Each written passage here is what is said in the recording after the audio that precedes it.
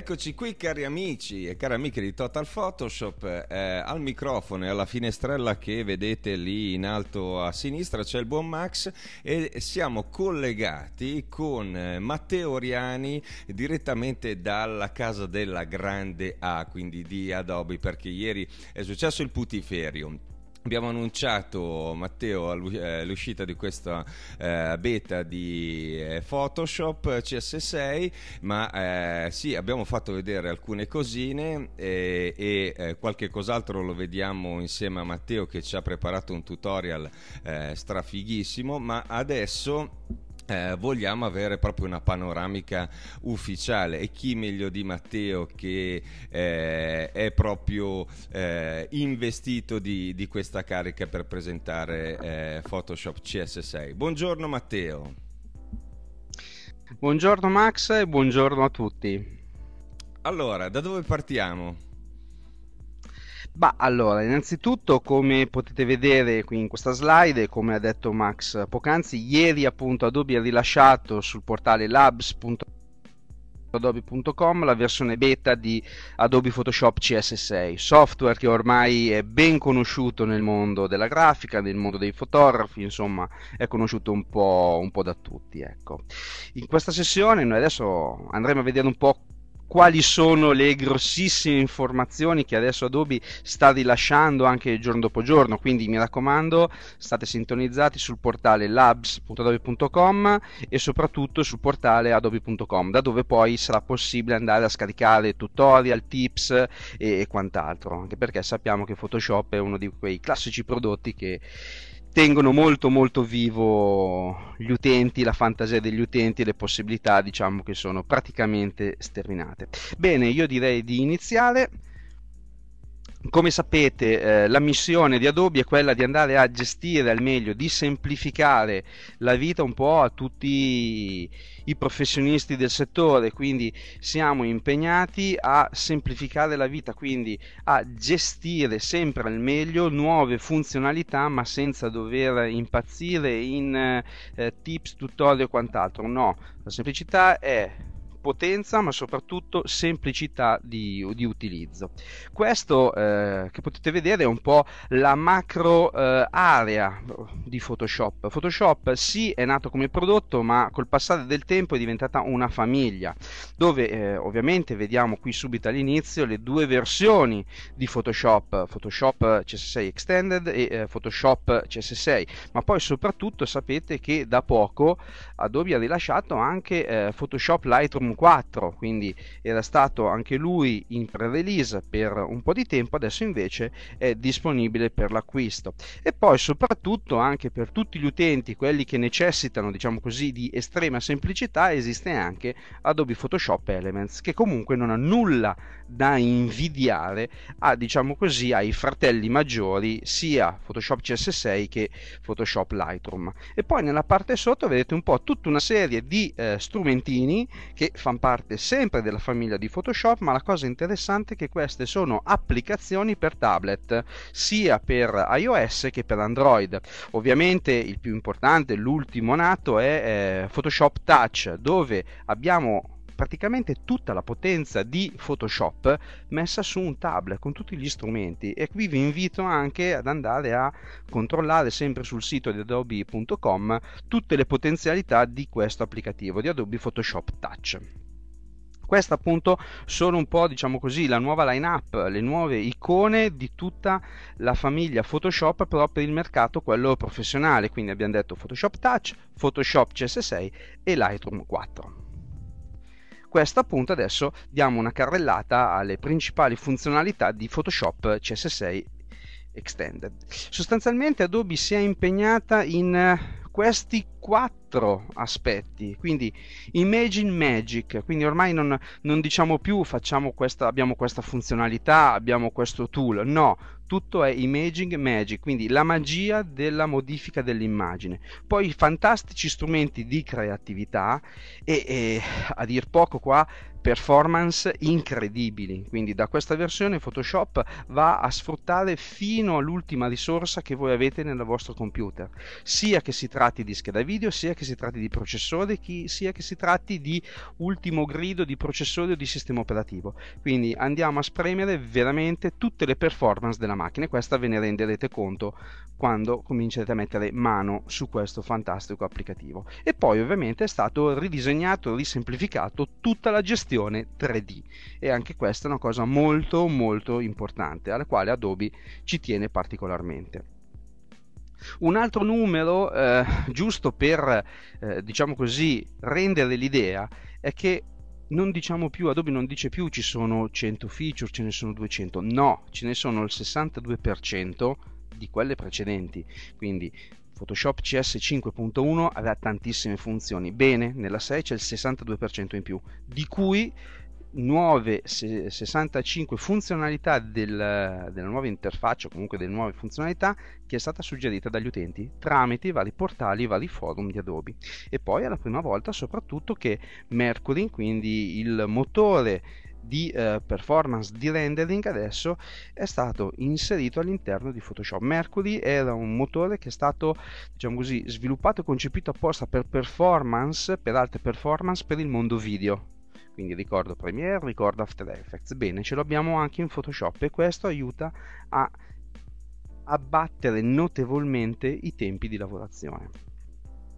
Questi sono un po' diciamo così, i due macro scenari, quindi eh, Photoshop CS6 e Photoshop CS6 Extended. Quindi esistono due versioni, quindi come era in passato, ci sono tantissime cose, quindi eh, Photoshop Extended ha una gestione avanzata del 3D piuttosto che dei nuovi motori di ray tracing per andare a implementare eh, rendering che arrivano da software di terze parti e ovviamente abbiamo le diciamo così classiche funzionalità di Photoshop CS6 quali appunto appunto eh, Mercury, nuovi filtri di sfocatura, tutta una nuova serie di strumenti ed algoritmi eh, legati al content aware, quindi alle, alle funzionalità contestuali, ma soprattutto abbiamo anche la possibilità di gestire i video. Prima i video potevano essere gestiti solo dalla versione extended, adesso invece lo abbiamo nella versione, diciamo così, normale in Photoshop CS6. Questo perché? Perché ormai il mondo riesce a implementare video e fotografie senza nessun tipo di problema. Basta basta guardare le macchine fotografiche di ultima generazione, tutte sono in grado di fornire video e immagini ad altissima qualità. E questo Photoshop non poteva essere di meno. E quindi anche gli utenti che adesso hanno Photoshop CS6 saranno in grado di gestire tutte le funzionalità video.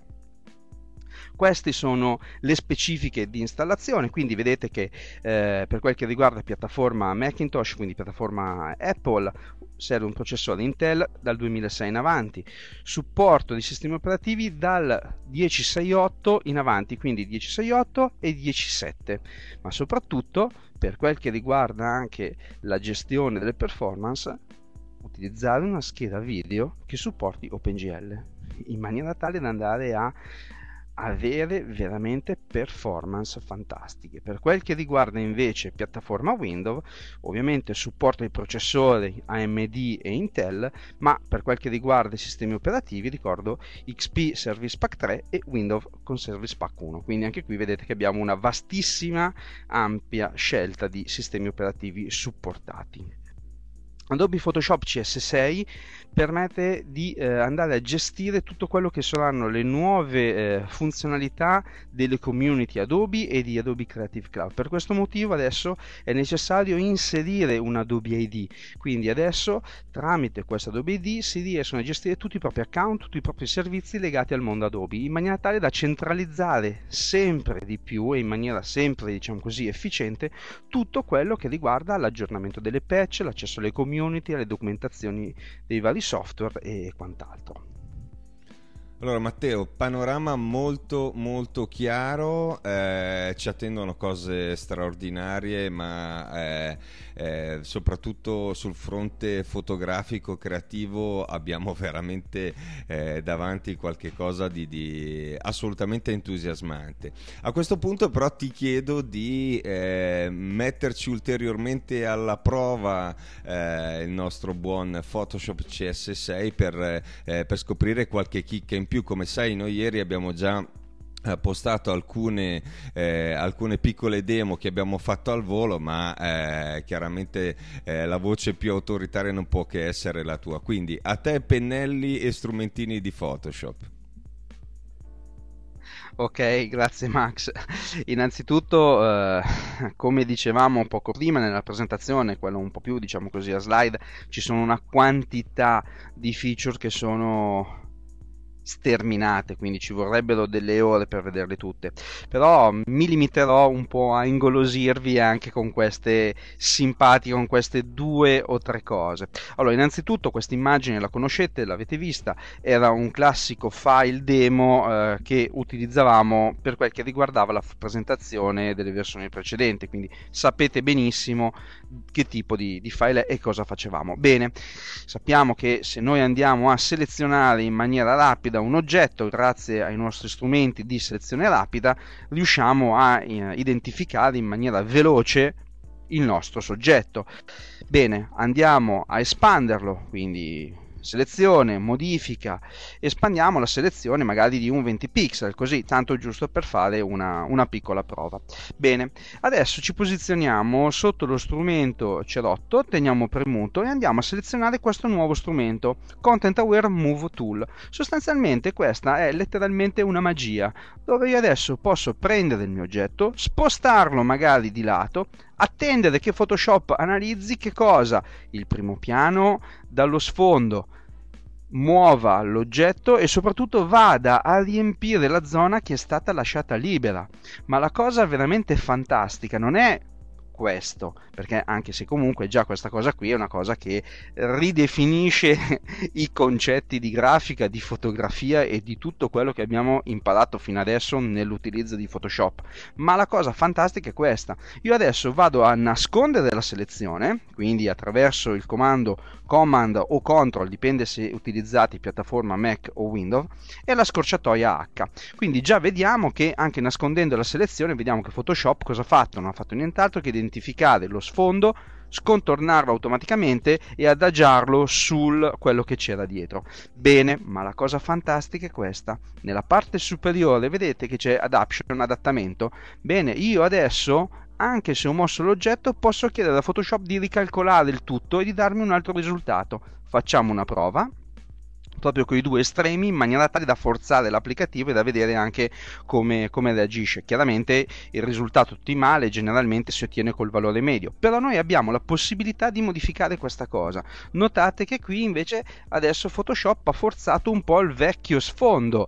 Andiamo nella parte opposta, così da vedere che io posso rimodificare una volta che ho fatto il lavoro quindi non devo ripartire da capo basta che cambio l'opzione e lascio che Photoshop vada a ricalcolare il tutto. Vedete? In questo caso adesso abbiamo forzato e quindi Photoshop ha eh, smangiato ulteriormente il nostro oggetto.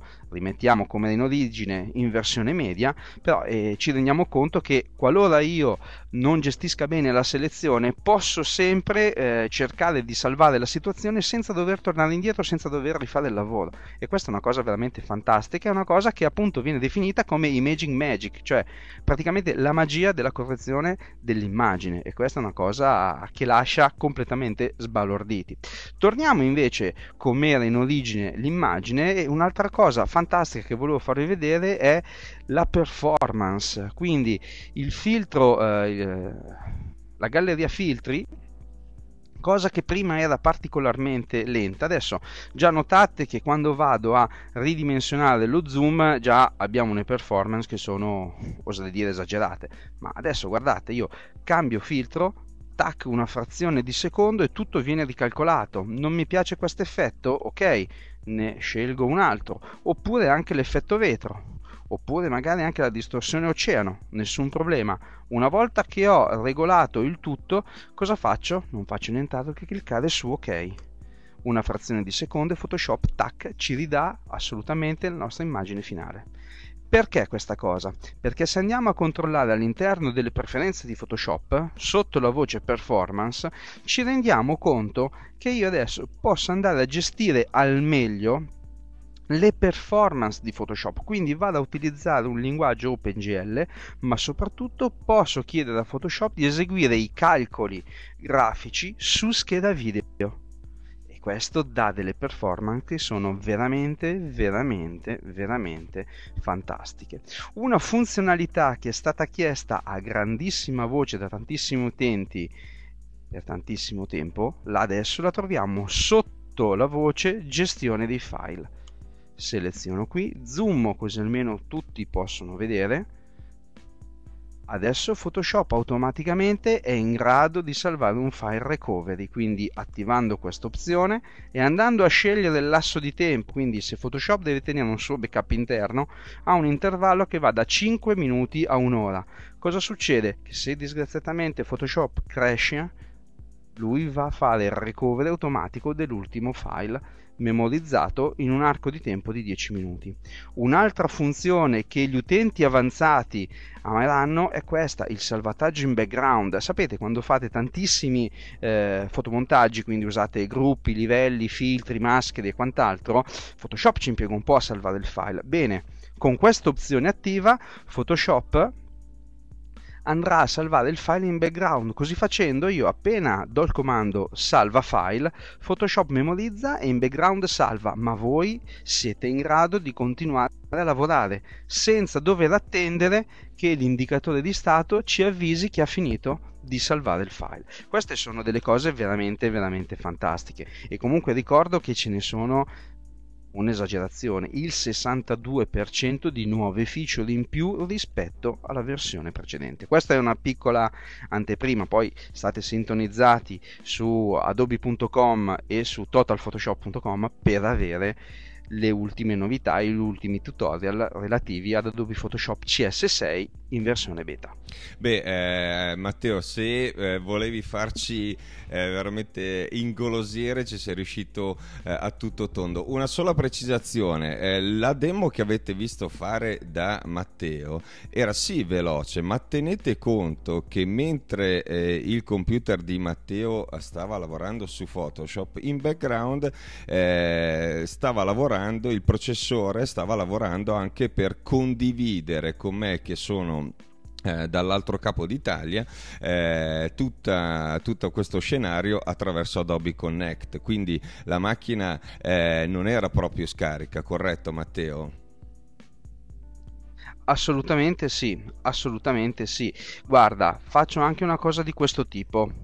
Torno indietro sulla mia immagine originale. Per comodità vado a prendere anche il comando di monitoraggio attività in maniera tale che potete vedere che senza fare niente il mio processore è attualmente impegnato. Un'altra cosa molto molto importante è che adesso voglio farvi vedere un altro filtro che va a sfruttare appieno la GPU. Prima però volevo, vorrei attendere che monitoraggio attività finisca di, eh, di caricarsi qualora non finisca di caricarsi noi comunque possiamo procedere ugualmente tanto siamo confidenti che Photoshop è sempre al massimo delle nostre performance. Un'altra cosa importante è sotto filtro è stato inserito un nuovo, un nuovo plugin pittura a olio. Pittura olio anche qui è un nuovo filtro è un nuovo ambiente che mi permette di simulare il, il dipinto a olio, quindi qui posso andare a gestire bene tutti i miei effetti e soprattutto appena clicco su ok qualche istante e questo filtro viene applicato alla nostra immagine quindi potete notare che le performance sono veramente veramente ottime soprattutto perché la mia macchina non è una macchina di ultimo grido quindi è una macchina media che gli utenti hanno tranquillamente loro, sulle loro scrivanie è un Core Duo Duo quindi per ottenere questa performance non è necessario avere una macchina di ultimissima generazione questa è una cosa molto importante. Ecco, quindi ulteriore eh, punto in più per eh, Photoshop che addirittura è più performante del monitoraggio attività, cioè una, una cosa straordinaria. Va bene Matteo, noi ti ringraziamo veramente tanto, è stata una bella chiacchierata, come al solito sei sempre strachiarissimo, grazie per la disponibilità, grazie anche ad Alessia di Barson che eh, ci tiene costantemente aggiornati e in contatto, voi non la vedete ma è lì sotto che sta eh, schiacciando qualche tastino dietro ad Adobe Connect.